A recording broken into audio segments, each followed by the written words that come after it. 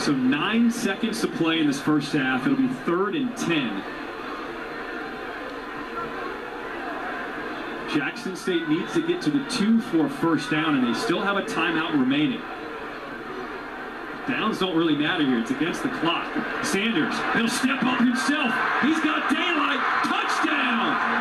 A 12-yard rushing touchdown for Shedeur Sanders. His second rushing touchdown of the day. What's he gonna do next? I mean, that's like Air McNair. He was always gonna do something special, and we're watching something special with Shedeur Sanders. Recognition. You turn your back on him. You run with the crossing route. Quick decision. Get into the end zone. what is that? that the Billy White Shoes Johnson dance there?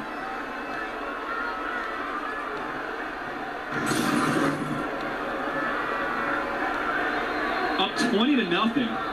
Jackson State has an offense on the field. It looks like they were going to try to go for two. They're actually going to use their final time.